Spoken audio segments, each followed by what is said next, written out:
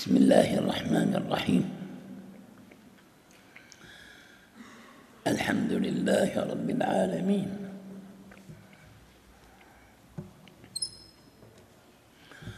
والصلاة والسلام الأتمان الأكملان على سيد المرسلين وعلى آله وصحبه أجمعين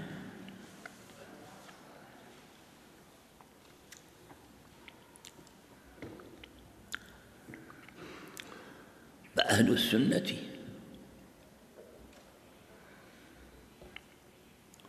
يؤمنون بأن الله تعالى أجرى العادة أن يخلق النتائج عند الارتباط بين الأسباب والمسببات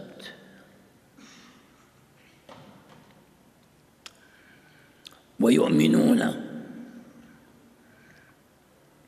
أن الله تعالى لا يستعين بخلقه.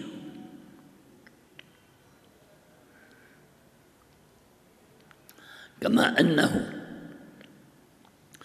لا يستعين بالنار ليخوفكم ولا بالماء. حتى يزعجكم بيعطيكم كل شيء.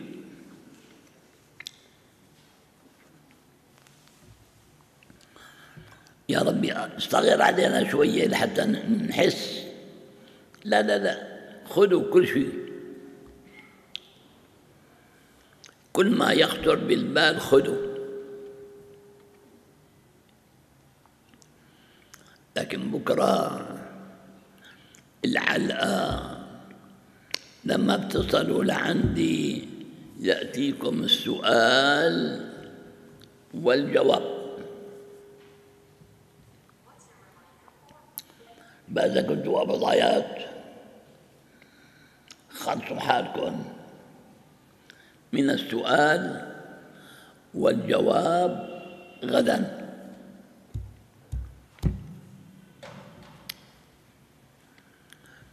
اليوم مد وبكرة عد. اليوم أعطاك كل شيء ومنحك كل شيء. بكرة الحساب على كل شيء.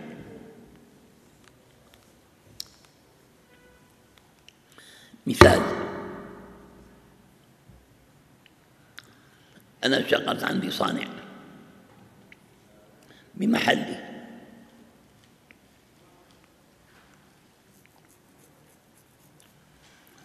وكل ما دخل قليل أو كثير عم يتسجل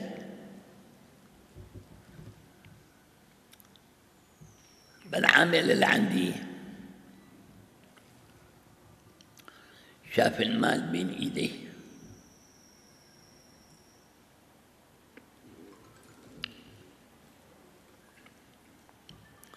أنا بالعادة بحاسبه بالشهر أو بالسنة. فلما صار المال بين إيدي في بحبوحة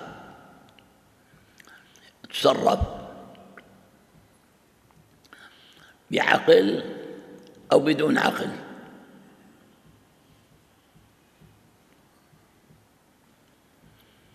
بآخر السنة في حساب انت كاتب هون. داخل عليك. مبالغ كذا كذا كذا كذا كذا. حاصل الجمع أربعة مليون. عم تسلمني ثلاثة مليون ونص. وين النص مليون راح؟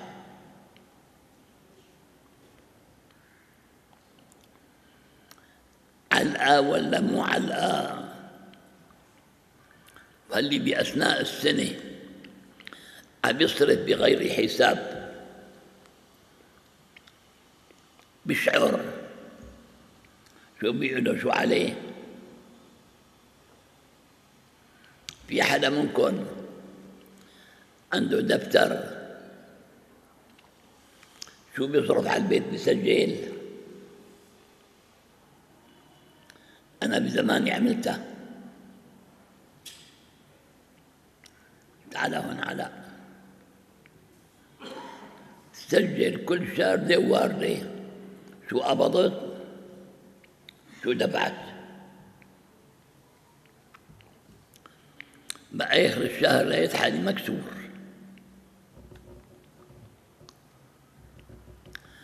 حسبي الله ونعم الوكيل. ثاني شهر.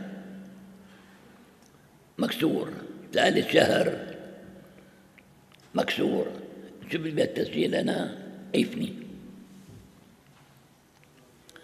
سلكت خط ثاني لا بعرف شو بيجي ولا بعرف شو بيروح. بيجيني دفعات ما بعدها الحجة. ما بدك تعمل دخل قال لي أعطيتك مئة ألف. هاي مئة ألف خلصنا لا لازم تعد عند السينما. لا ما بيستلم بطلت عد مر علي ثلاثة شهور. مصروفي بالبيت ما تغير.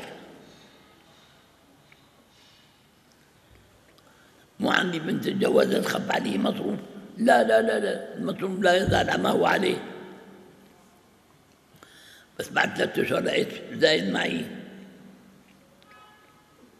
ألفين مرة منين اجوا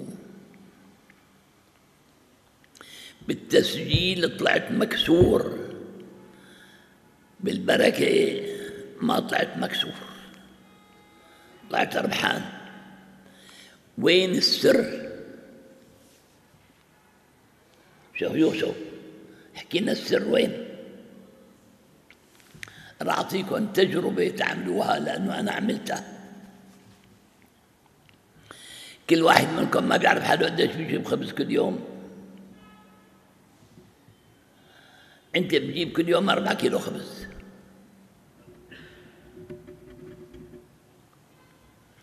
وكل يوم الأربعة خبز الأربعة كيلو بيروحوا. وعلى أحيانا تصبح بلا, بلا خبز أميل هالتجربة. جيبهم 8 كيلو. يوم واحد. وكل البيت وخليت هذا يعني شو بصير؟ مصروفنا بالبيت كل يوم كليين. بلا صار يبات. شو صار؟ بعد شهر بتلاقي زايد عندك. خبز عن ثلاثة أيام. أنا أربعة أيام. منين إجا؟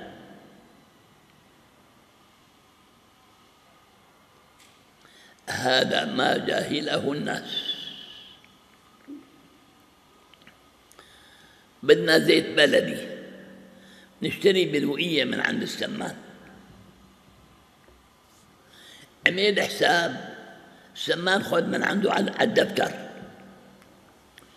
عمل حساب شهر شهرين ثلاثة قديش صارف أكثر من تنكتين زيت.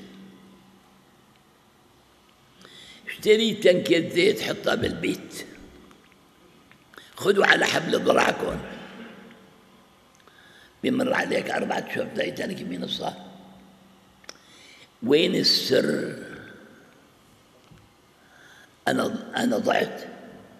أنا عامل بهالحياة تجارب على كل شاردة وواردة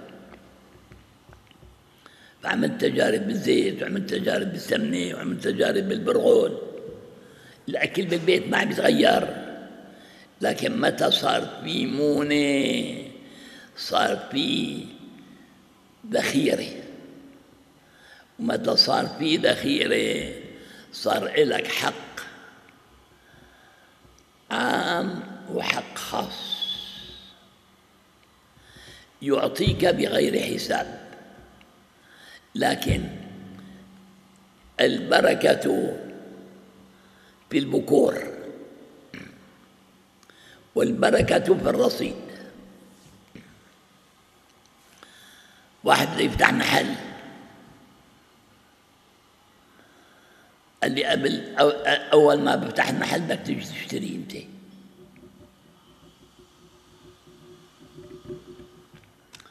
يعني مسكين.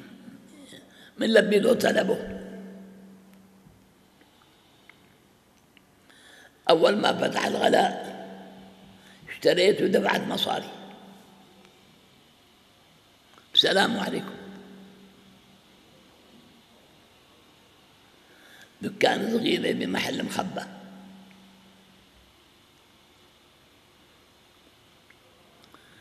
بعد أربع خمسة شهور اجى لعندي.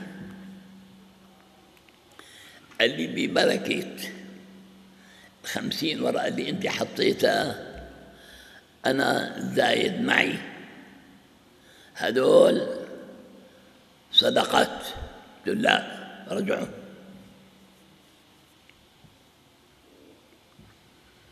قال لي ليش؟ قلت له رجعون صمدهم لآخر السنة من طالع الزكاة. قال لي هدول صدقات ما لهم علاقة بالزكاة. إذا أخذتهم شو فيهم أنا؟ لطلاب العلم. أنا الحمد لله في غنى. قلت له ليش؟ قال لي أنت حطيت خمسين ورقة. قلت له إيه؟ قال لي ببركة الخمسين ورقة تعبى المحل.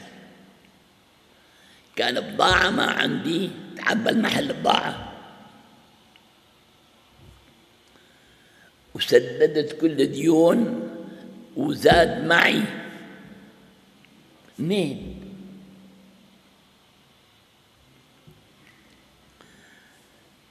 لما بدك تعرف شو هي البركة عمل تجارب لتعرف شو البركة. هل البركة كلام؟ لما أنت بتعطي بغير حساب. بدخل عليك بتحط بالدرج بغير حساب. هل تعلم بأن الله يطرح البركة في مالك؟ ولا تدري من أين تأتي ولما بدك تعود تحسب شو دخل علينا اليوم؟ شو ضل من عنا. دائما تقع في خسارة. أنا هي تجاربي في الحياة. ما بعرف يلي بيحب منكم يعمل هالتجربة ويعطيني نتائج. دخل علينا بأشار بالقيود. مليون ليرة. أنا وشريكي. هدول المليون حق بضاعة والتلف كمثال حداد النيت الأكسجين خلصيت. الفحم خلاص. الصباب هرب نمطى هذول بدهم يطلعوا من دخلك. لذلك بدك تحسب حساب. دخلك يكون متلاقي مع مصروفك. أحد التجار دخلت قعدت عنده. بيقبض بيحب الصندوق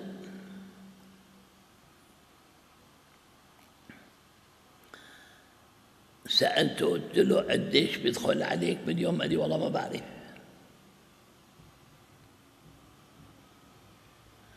طيب أنت ما عندك حساب صندوق؟ قال لي أنا ما بحسب ولا بسجل.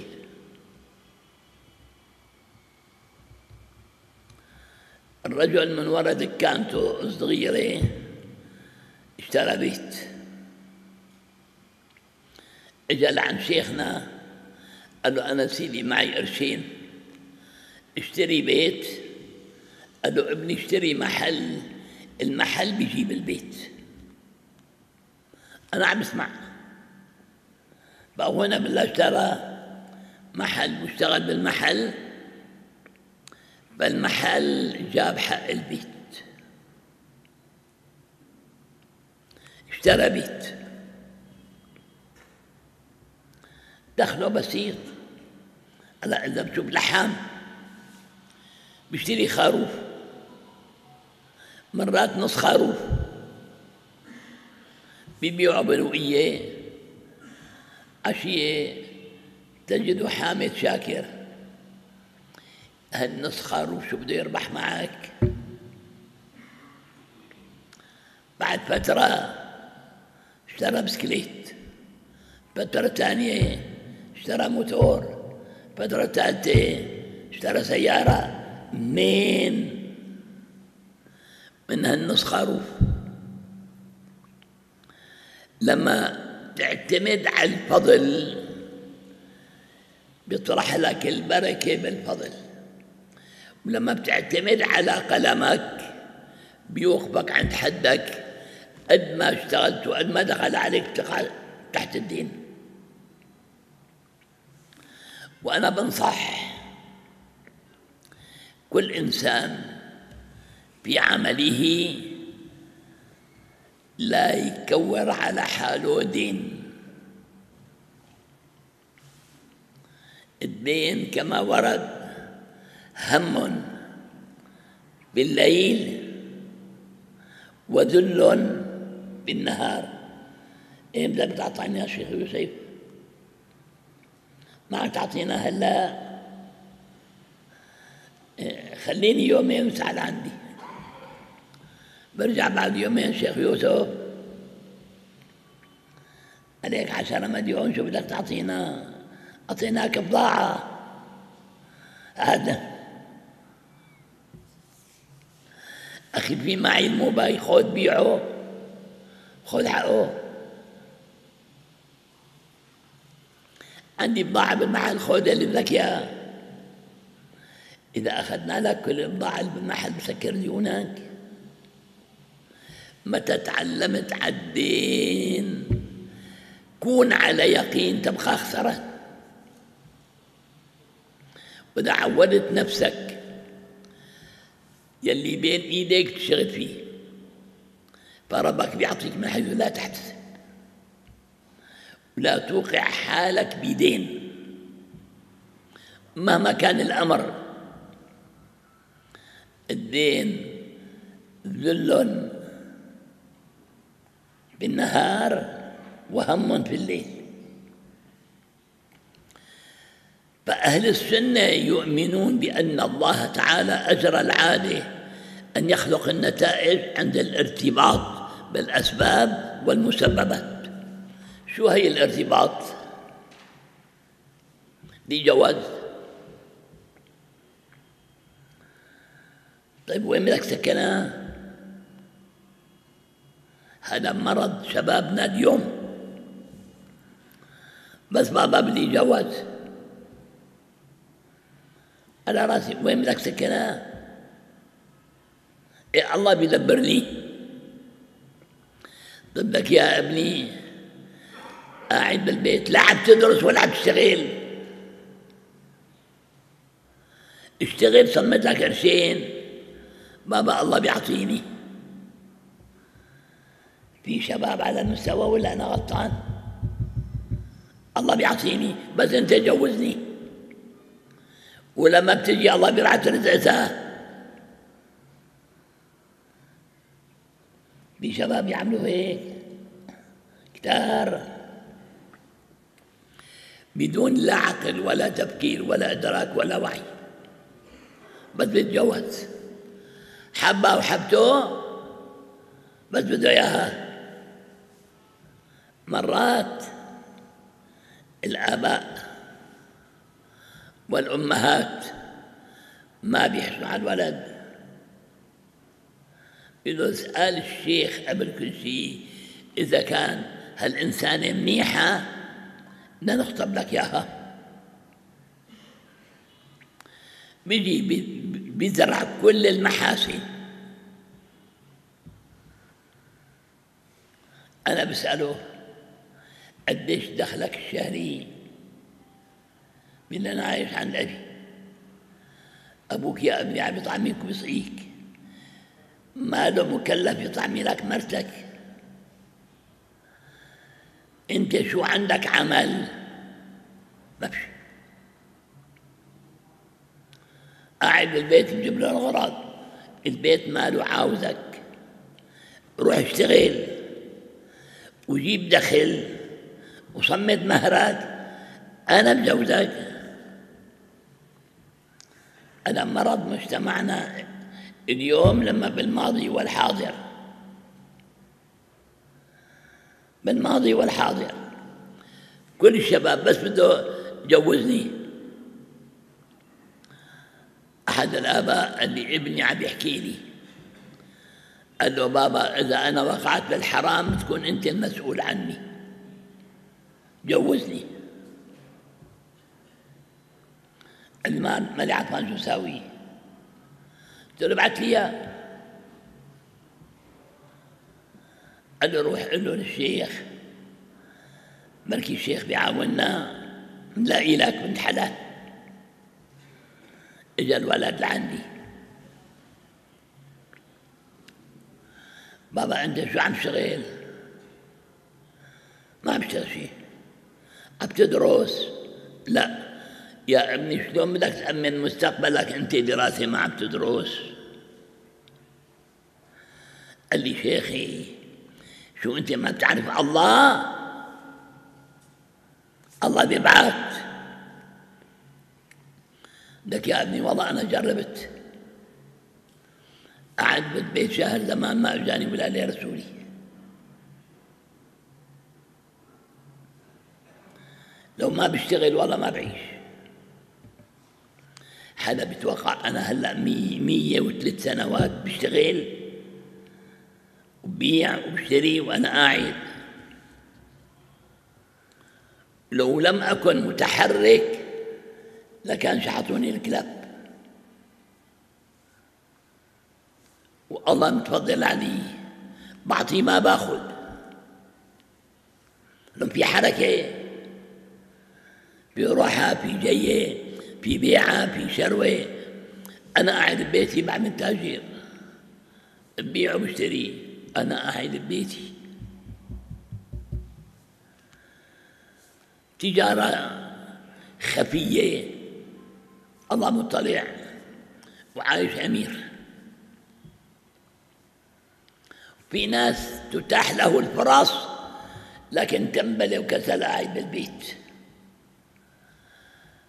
وعدد كبير من تجار الحريقة صاروا أولاده شباب سلم أولاده راعد بالبيت كسروا المحل وقعوا تحت ديون. تعا أبوهم سدد عنهم ديونهم. والله أحد التجار قال لي أنا هربت. ما معي سدد ديون. أولادي وصلوني لمرحلة ما عم معي آكل.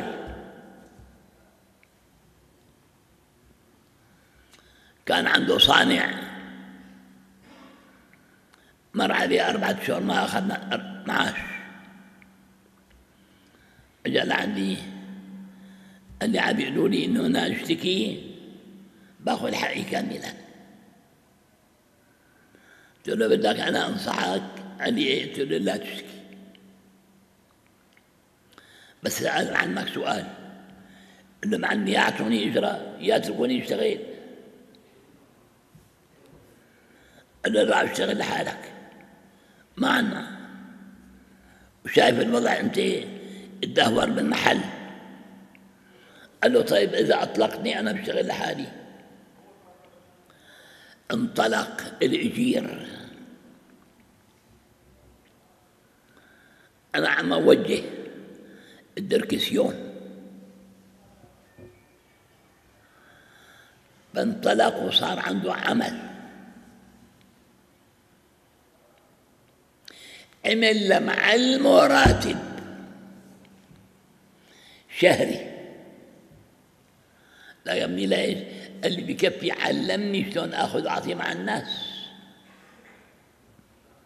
فأنا ما بنساه وين كان حسب أقوال الناس. بده يشتكي على معلمه. وين صار يعطي معلمه؟ رغم إنه حقه عند عند معلمه راح. بس عند الله راح. فالله أكرمه بالتوفيق. صار هو المعلم ومعلمه الأجير الصدق يصنع العجائب والغرائب. فأهل السنة ما بيقوموا بعمل بدون ارتباط. بالنتائج الارتباط بالأسباب والمسببات. قال له قوم يا عبدي الله معك.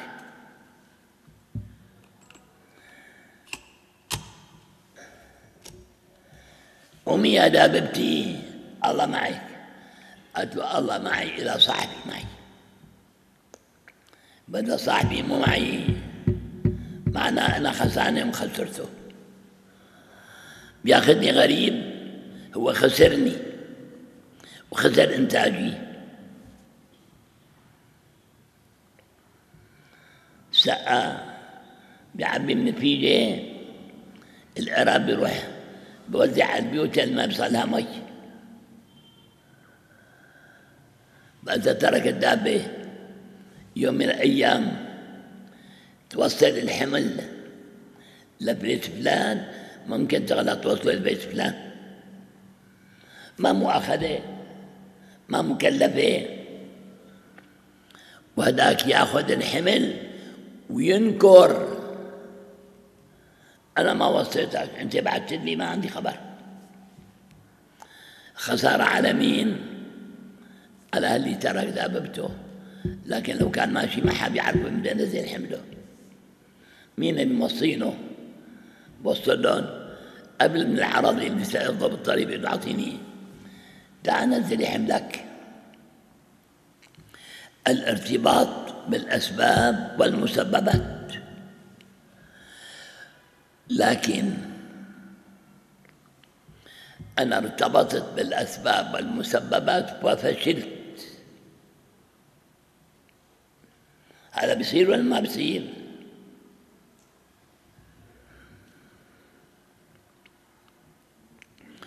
قال لا يستعين بأي شيء فلا يستعين بالنار على خلق الإحراق. يعني اللي خلق الخلق قادر يحرقون؟ قادر؟ ما بيحرقون. قادر يعمل طوفان لبلد دون بلد.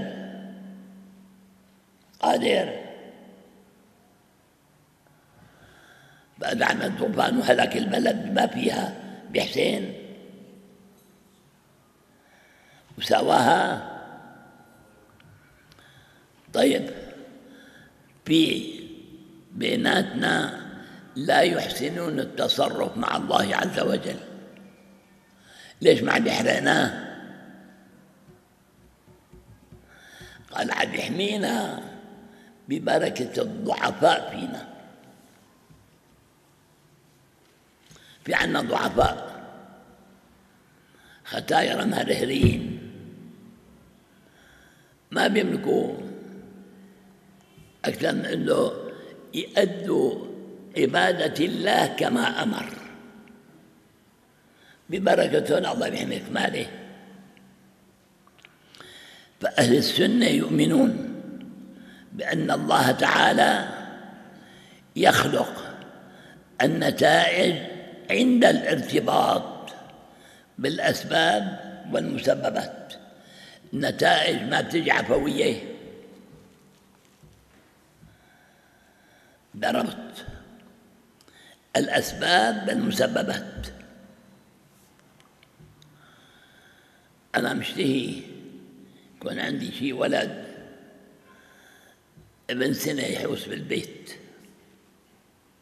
أنا شو بتنصحوني ساوي؟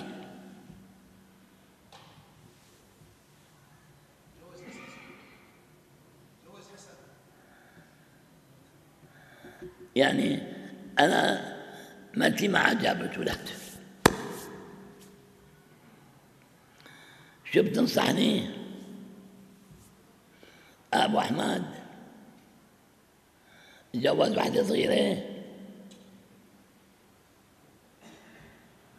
إذا بدك أولاد جوز واحدة صغيرة.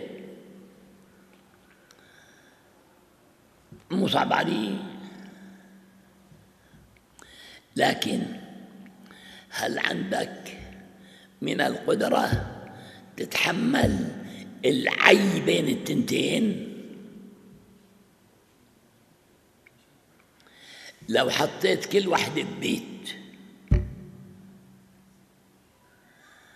وحددت لكل وحدة يوم في وحدة من التنتين ما بتتعدى عليك خليك اليوم عندي. بيعملوها ولا لا؟ انت بتصير مثل ما قال المثل بين حانة ومانا طارت الحانة واحدة بتنتف السوداء مشان تخليه ختير واحدة بتنتف البيضاء مشان تشوفه شاب أم بيصبح بلا شيء. الأسباب والمسببات تعمل دراسة بعمق هل أنت قادر عليها؟ مادة ومعنى. ومادة لحالها مادة ومعنى. عندك بنزين بسيارتك بوصلك لحلب. فإذا زايرت السيارة وين تنقطع؟ بحما مين ما قلت له لك بنزين ما في بطاقتك خالصة تصفى بها الطريق ما بتعرف حالك بتكون انت طعام مين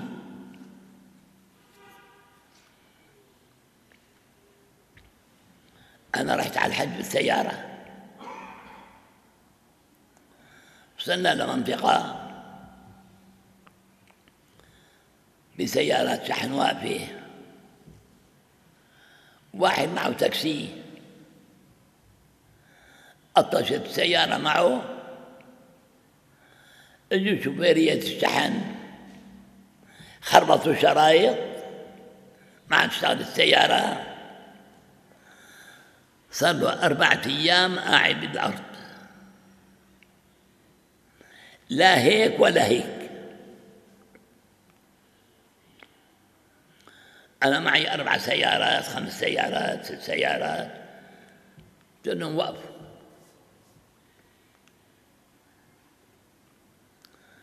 أنت الشرطان. حطيت الشربونة. غيرت واحد ثلاثة أربعة اثنين. حطيت الشرطان محلون. شغلت ما شغل لعباني بالأفنس عيرته. شغلت اشتغلت. مشيت فيها رحت رجعت. بعدين قلت له عمو أنت اركب سيارتك امشي قدامي. إذا صار معك شيء أنا بعاونك. ولو بربط سيارتك بتحبها معي عدة بس لا تسرع كثير أنا بمشي على مهلي. مشي زلمة. بعد شيء اثنين كيلو متر ما عاد شفته. شاف سيارة شديت راح. اجتمعت فيه بالمدينة. وين تركتنا؟ قال والله السيارة شدت مشيت. إذا شدت مشيت خليك ملتزم. بهلا أنقذوك لك يومين قاعد بالصحراء. هذه الصفات البشرية. متى وصل لمصلحته ما حدا يعرفك مين أنت. هذا موجود ولا أنا غلطان أما صفات الإيمانية ما بتخلى عنك حتى أصل للغاية والهدف. لأن أنت قدمت لي هدية أنقذتني حملتني من الشوارع وصلتني للغاية والهدف أقل درجات ارتبط معك معنويا فالإسلام علمنا الارتباط صوريا أو معنويا الارتباط بمن؟ من الذي يملك زمام أمرك يا أخونا؟ سواء كنت شيخ أو فريخ. يلي بيملك زمام أمرك مين؟ إذا كان هو ليش ما بتنقاد له بتلتزم بالأخلاق اللي هو علمك إياها؟ إذا التزمت بالأخلاق اللي هو علمك إياها بتنجح ولا بتفشل؟ هذا معنى الارتباط بالمسببات.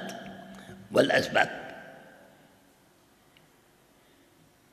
ما بعد شرحي واضح.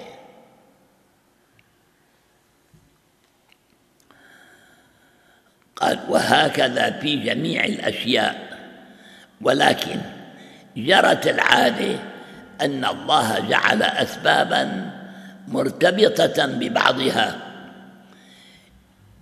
يوجد يوجد الله عند ارتباطها ما يزيد من نتائج. هيك مكتوب عندك. مضبوط ما يريد من نتائج. أنا قد ما يزيد. إيه والله ما في نقطة شلون أنا حكيتها. لتعلموا. ليس إنسان لا يخطئ. إذا ما بتغلط يا يوسف. بس مو مني لأنه الخطأ يقع من صاحبه على حسبه. صغير بيجي غلطه صغير وكل ما كبر بصير غلطه أكبر. بقى أنا بالسن أكبر منك لذلك غلطي أكبر من غلطك. بدكم تحملوني على عجري وبجري. حكيت لأحد الأشخاص. الله صانعه. قلنا له ليش؟ قال في غلطة كيف كيف كيف كيف كيف قلت له بتسمح لي أنا أسألك سؤال غريب. قال لي تفضل. قلت له ما له محاسن بنوب قال لي لا والله له محاسن. إذا حطينا بالميزان محاسنه أكثر أو مساوئه قال والله محاسنه أكثر قلت له إذا بدك تقبل بمحاسنه بدك تقبل بمساوئه مو تاخذ محاسن؟ قلت له مع السلامة.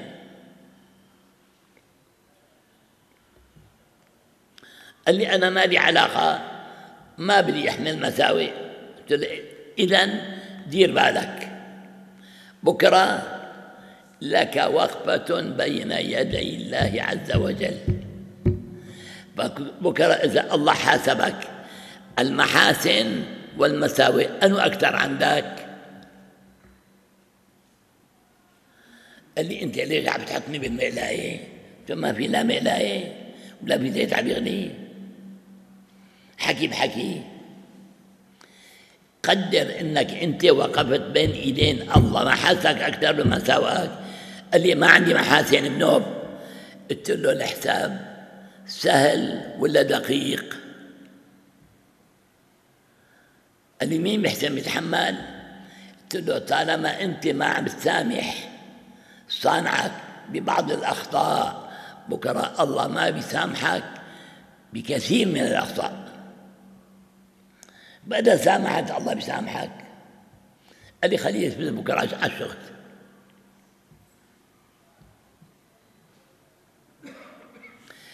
عم بحكي وقائع. كل منكم يعلم ما الذي يجري عليه غدا. مين منكم يراقب النشرة الجوية في مطر بكرة؟ في؟ مين بيراقب النشرة الجوية؟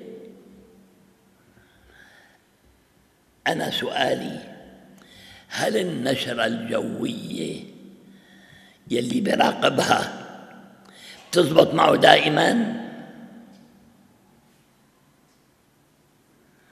إنسان شكالي قال لي رد ضبط ميازين الأول. بيقولوا في شمس تطلع مطر بيقولوا في مطر تطلع شمس. قال لي الميازين ما مضبوطة. له عفوا. الميازين مضبوطة على الشعرة. شلون لكان ما عم تزبط قلت له الكون بإيد مين؟ قال لي بين أصابع الرحمن يقلبها كيف يشاء. قلت له لما بشوفكم أتمتع على الميازين تبعكم. بخربط لكم الجو كله. لتعلموا أن القيادة له وليست لكم. في هيك شيء شيخ يوسف؟ هو بخربط ميازين بيكون الميزان صح. بكره في مطر بيقول لا لا بكره خليكي صاحية ما في مطر بإرادته. يصنع ما يريد ولا يسأل عما يفعل. ما بعد صح كلامي؟ إذا إذا أردت النجاح في الحياة فعليك أن تربط الأسباب بالمسببات.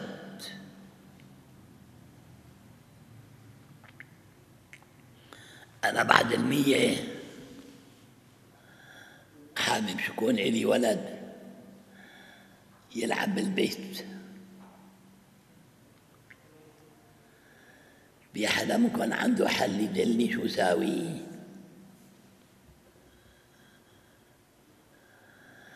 أنا راح أتركن افتراضات. أنا جبت سيارة جديدة لكن بنزين ما في لها. شو بتسوى إن هي السيارة جديدة. حقها ملايين. لكن هذا النوع ما له بنزين. هلا السيارة كبيرة شوية على بنزين. بيعطوها بنزين. ما بيقولوا الكبيرة ما لها بنزين. هيك مرة. سيارة ست سنة ما بيعطوها بنزين. لأنه مصروفها كبير. البنزين ما بيجي. البنزين موجود بالآبار. شو رأيكم بتعبير؟ مشان نطلع بنزين. أنا خايف ما يطلع لي ولا مي. في أراضي 200 متر نزلوا بالغرز ما طلعوا المي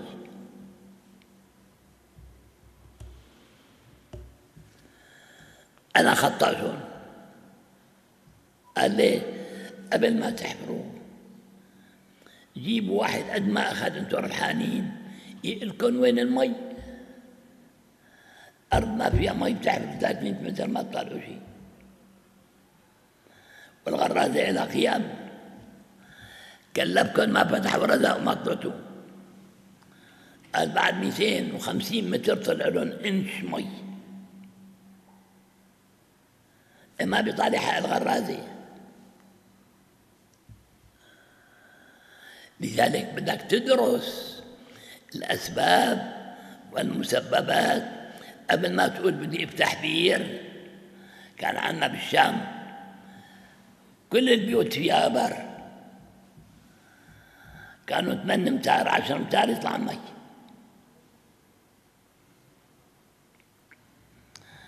عندكم الضيعة كم متر؟ شيخ يوسف مية وخمسين ميتين. يعني يعني في شيء يكاد أن لا يصدق؟ أنا كنت بقرية.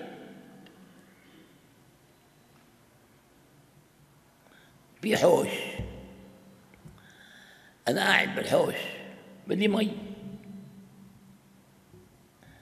مسكت العظمة وحفرت بالأرض شبابين طلع لي مي. تركت الجورة تعبيت. أخذت مي غيرت وضوي وتوضيت. وشربت منها.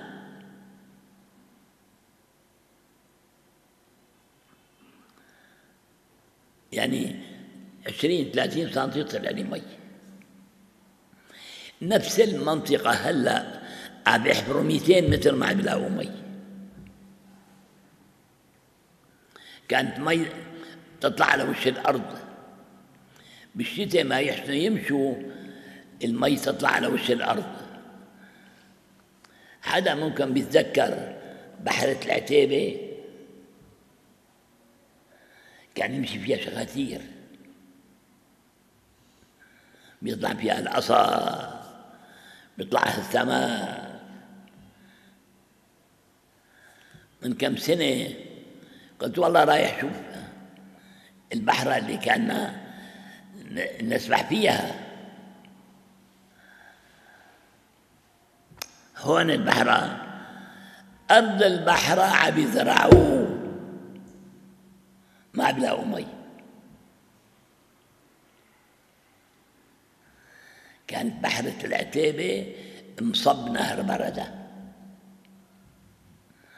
نهر بردة كان بالصيف ما يحسن واحد يمشي فيه من كثر المي. سابح بنهر بردة شيء انت اليوم شو رأيك ناخدك تسبح بنهر بردة من كم يوم مرقت ثم تخلوني أشوف المي. ماشي.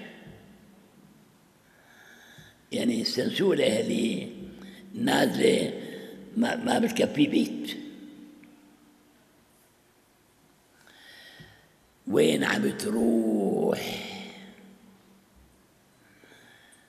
كنا نشرب من نهر بردة. شو اسمه؟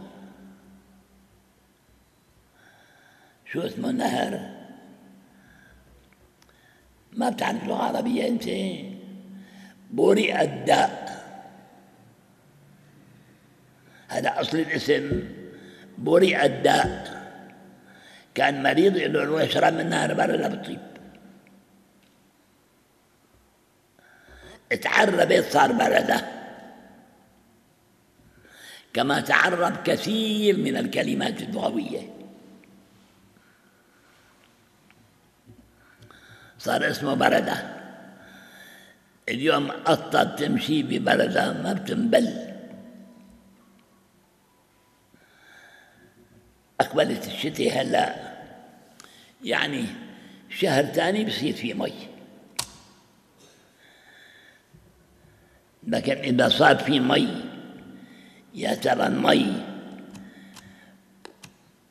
بتشغل مثل ما كانت تشغل بزمانها؟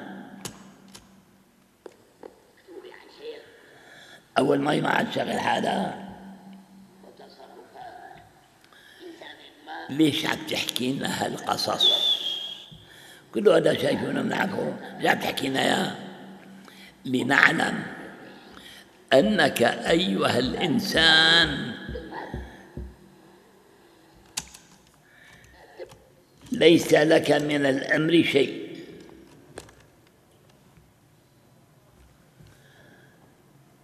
مين هيك حكى؟ الإمام. القائد. إمام الأولين والآخرين. ليس لك من الأمر شيء. فاعف عنهم. يلي أساءوا. واستغفر لهم الذين أخطأوا. وشاورهم في الأمر. هذول نشاور إيه هذول شاورهم. لأنه هذول دخلوا معركة الحياة. وعرفوا في الحياة ما ينفع وما يضر. فخوض رأيهم لو كانوا عوام ستستفيد من رأيهم. استفيد شيخ يوسف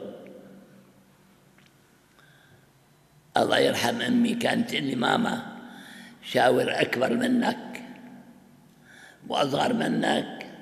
وارجع على رأيك. لكن لا تعتمد على رأيك لحالك. الأكبر بيعطيك رأي والأصغر بيعطيك رأي. وقد تتضارب الآراء. حط عقلك حكم بين الرأيين خذ الحل الوسط.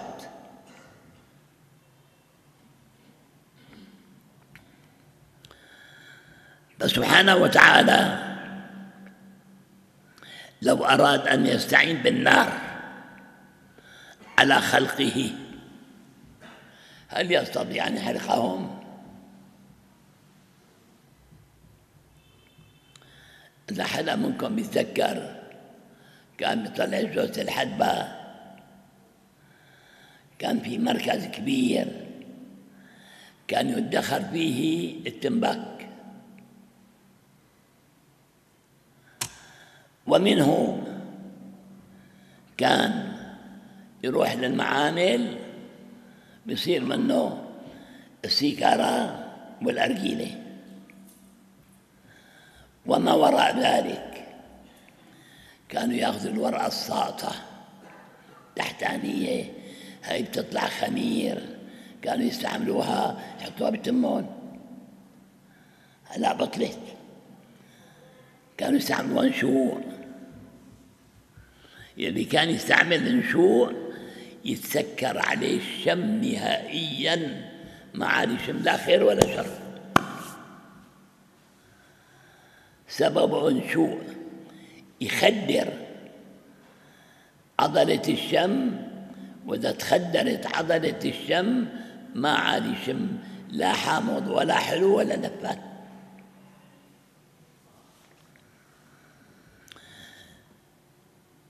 جعل الله أسبابا مرتبطة بعضها ببعض. يوجد جميع الأشياء ولكن جرت العادة أن جعل الله أسبابا مرتبطة ببعضها. يوجد الله عند ارتباطها ما يريد من نتائج. فكل إنسان له فترة الحياة خمسين ستين سبعين أربعين ثلاثين عشرين ما بتعرف. إمتى دورك بدك تروح الآخرة؟ تعرف إمتى شغل؟ أبو أحمد إمتى دورك؟ جاهل ما بتعرف فيها مسكين؟ وأنا ما بعرف إمتى دوري. يعني أنا أجهل منكم قد ما كنت جاهلي أنا أجهل. لو لم أكن أجهل منكم لما جلست بينكم. لأتعلم قبل أن تتعلموا فإذا الله بيملك الحامض والحلو واللبان شو في عندكم طريق تدلوني اسلكوا وغير طريق الله.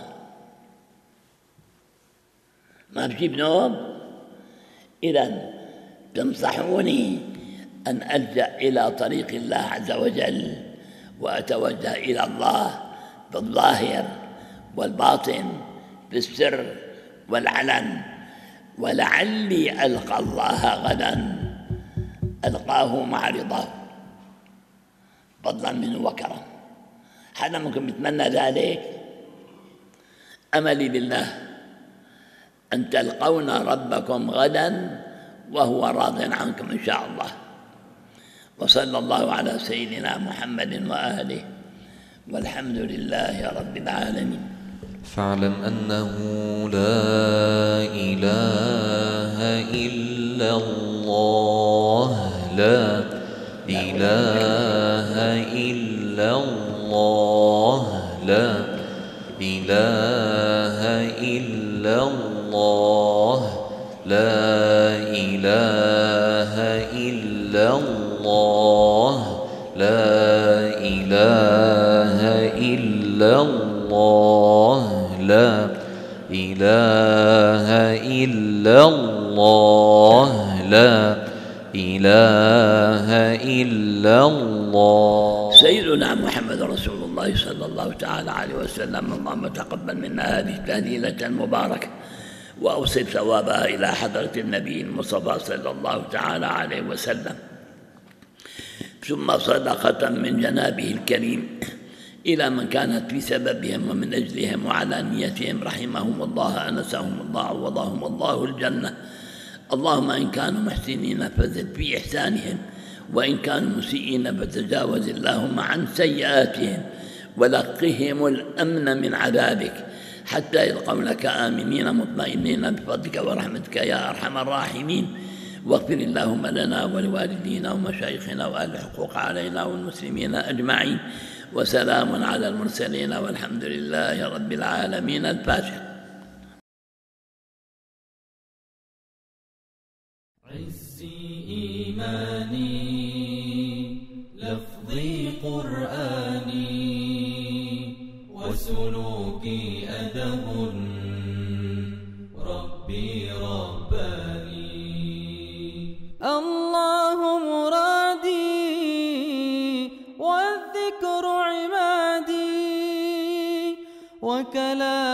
نبي. فوزي ورشادي.